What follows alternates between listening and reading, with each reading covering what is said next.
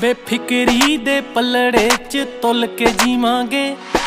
ਛੋਟੀ ਜਹੀ ਜ਼ਿੰਦਗੀ ਨੂੰ ਖੁੱਲ ਕੇ ਜੀਵਾਂਗੇ।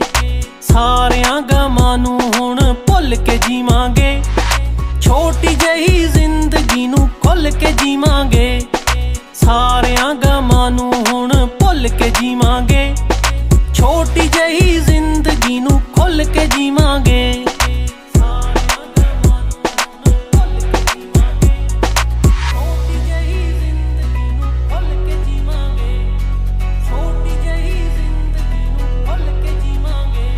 जो बीत